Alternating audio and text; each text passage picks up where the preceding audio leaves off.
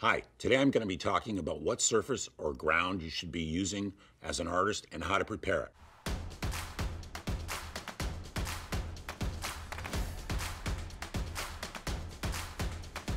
Hello everyone, my name is Mike Svob and welcome to my channel.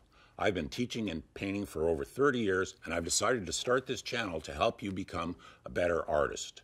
If you stay with us on this channel, I will answer your questions on a weekly basis about how to become that better artist. So I'm going to help you prepare the surface that you're going to paint on. And we call it surface or ground as a painter, all right? Now, the easiest way to go about this is to buy something from the art store to work on. And what most artists think of when they think of painting, they think of painting on canvas. Now, this canvas here that you can see is already stretched, right? You can see it's stapled on. It has a brace. This is a good quality canvas. You can't see through it. It's fairly thick. This is a good canvas to use if you want to keep your paintings around for a while. If you're not worried about it, you can use a cheap canvas. If you can see through it, you know, buy the cheapest version you can. It's not going to last. But this one's pretty good. Now, this has a layer of gesso on it already. You do not need to seal it, okay? But if you're going to paint on other surfaces and you want your paintings to last, you've got to do other things. I brought this one here.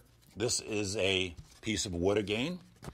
And it has this dark color. These are called tannins. And if you do not seal it, the tannins will come through the painting. So you need to deal with that as an artist if you want your paintings to not see the tannins come through. Now, what I've done here is I seal it first with one of those things I mentioned, polyvinyl acetate, linseed oil, something like that. And then I put on the gesso myself. Now, I do it the way I like. I use a roller. I do it when the temperature is a certain temperature, things like that. And I get pretty fussy about it. And you're going to get fussy too as you get along as an artist. But in the beginning, if you want to just paint it on with a paintbrush, go ahead. Some people paint it on, they sand it, they do different things. But this is acrylic gesso on the top. So you have to seal wood before you do that. If you don't want to get into sealing things and paint on wood, they sell something in most art stores now. This is a bigger version of it. You can see the way it's braced here. This is a birch, right? And you don't have to seal birch to paint on. You can paint directly on the surface, and you can go ahead with that too. That's a great surface to work on.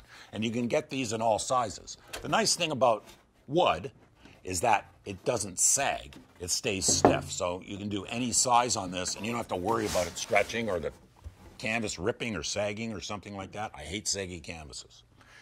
So that's a good choice as well. Now, of course, you can paint on a lot of other things. You can paint on paper, you can paint on silk, any type of cloth. Some people paint on mylar, plastic. There's an endless parade of things you can paint on.